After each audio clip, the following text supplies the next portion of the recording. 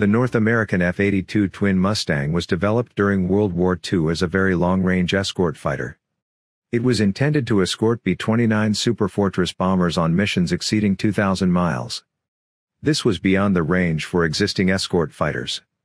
The development was initiated in 1943, and was based on the XP-51F Mustang, which would later become the P-51H Mustang. Two Leaton P-51H fuselages, with additional fuel tanks fitted, had a new center wing section mounted between them. The prototype XP-82 failed to become airborne on its first flight attempt. The left engine of the aircraft was a Rolls-Royce Merlin V16 5023, and the right engine was a Rolls-Royce Merlin V16 5025. North American engineers discovered that the way the propellers rotated cancelled out all lift from the center wing section. This was solved by changing sides of the propellers and the engines.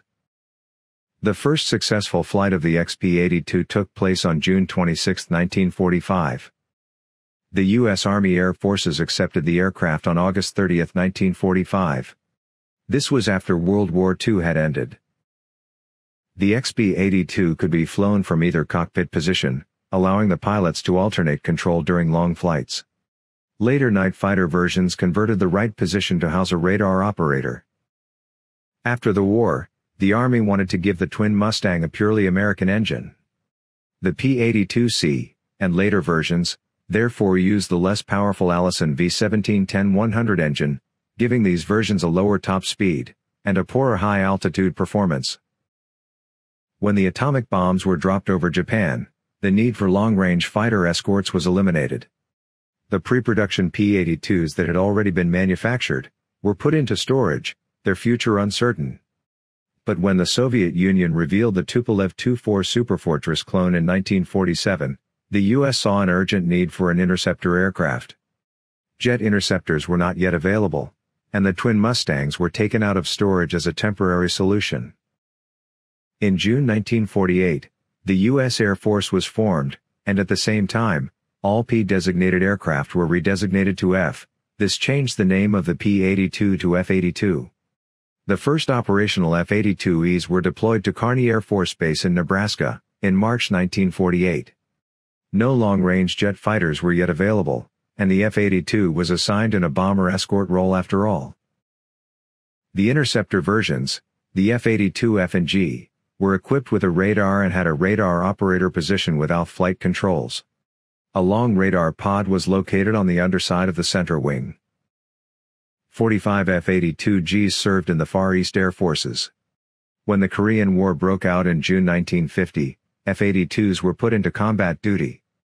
Twin Mustangs flew the first air combat mission of the war. The F-82 pilots exceeded all expectations in aerial combat during the early days of the war. But when the Far East Air Forces requested an additional 21 aircraft, the request was denied. There was also a lack of spare parts for the aircraft already in service. In March 1952, the last F-82G left Korea to be deployed in Alaska. During the war, 22 F-82s were lost, including 11 in combat missions, and 11 non-combat losses. In 1948, six twin Mustangs were deployed to Adak Island in Alaska. The long range of the F-82 made it suitable to serve in the Alaskan Air Defense Mission. In March 1949, eight more F-82s arrived, and the squadron relocated to Ladd Air Force Base. The twin Mustangs patrolled Alaska, although visual contact with Soviet aircraft was rare. In 1950 and 1951, all remaining F-82s in the Air Force were transferred to Ladd Air Force Base. The last twin Mustangs were retired from the U.S. Air Force in 1953. The F-82 was only in service for seven years, and a total of 272 aircraft were produced.